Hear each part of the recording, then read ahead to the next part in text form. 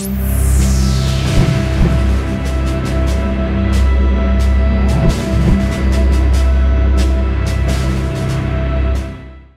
to this first episode of Meet the Scholars, where we'll be introducing you to some of our Institute's scholars and authors here. I'm Libby Krieger and I'll be your host for this series. And what better way to start off this video series with Dr. Paul Kengor. Thank you so much for joining me, Dr. Kengor. So Dr. Kengor is a professor of political science here at Grove City College, the senior director at the Institute for Faith and Freedom here as well, a New York Times best-selling author where his most recent book was The Devil and Karl Marx. Now, Dr. Kengor, I know you're a professor of political science here. I've actually taken some of your classes. How did you end up in the field of political science? It, it goes back to my time in college, so before you were born, well before you were born late 1980s, I was at the University of Pittsburgh uh, pre-med, working for the organ transplant team. I was, I had a future in medicine. That's at least what I was planning, and I got very interested in the great events around us, the end of the Cold War. And I was, I was not political. I didn't know what a Republican was, a Democrat was, conservative, liberal. Didn't know any of that, and in fact, I wasn't a Christian either, for for that matter but I was just captivated by these events, started paying attention to them, started writing about them, wrote a letter to the editor of the student newspaper, the Pitt News, where I met my wife, among, among other things. And the, that's the most important thing that happened there.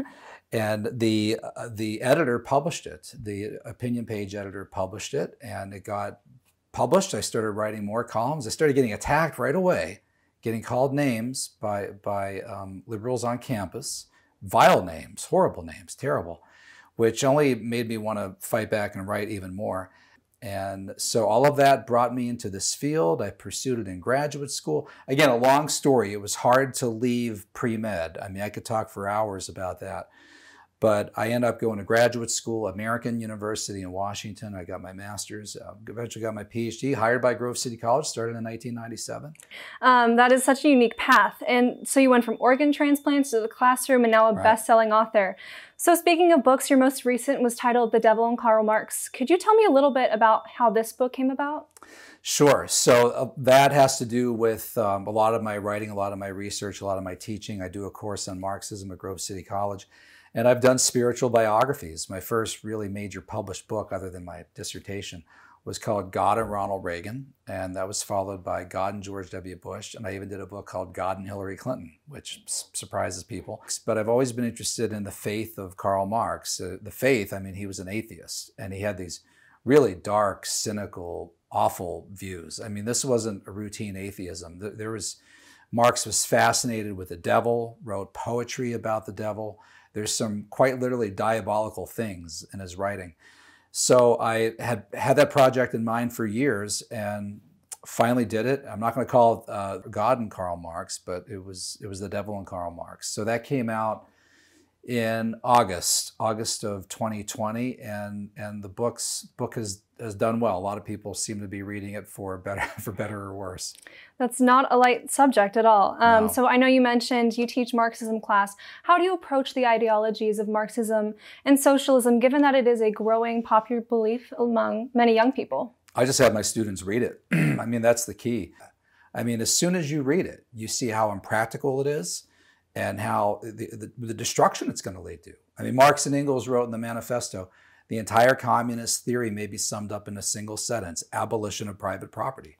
So it's a very atheistic ideology. People think it's about economics. It's more philosophy than it is anything else. And if you just read it, believe me, you won't believe in it.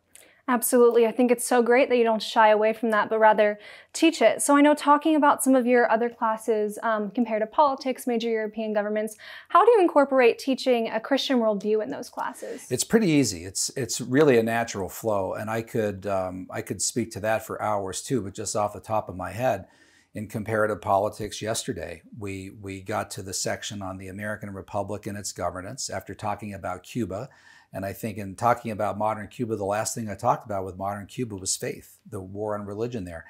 So it's it's very, I think it comes very naturally if um, if it's really part of your life and part of your worldview. And I think it's the best thing about teaching at Grove City College. And one of, as one of your students, I can attest to all of that. Oh, thank um, and I know as we're running out of time here, I'd love to hear a little bit more about some projects that you're currently working on for the future.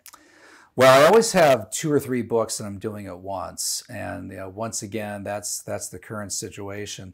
And I'm also I'm writing so much. I'm I'm committed to. I do a weekly column for American Spectator, which right now, when we're recording this, I've done I think almost three or four in the last week because of events that are going on right now.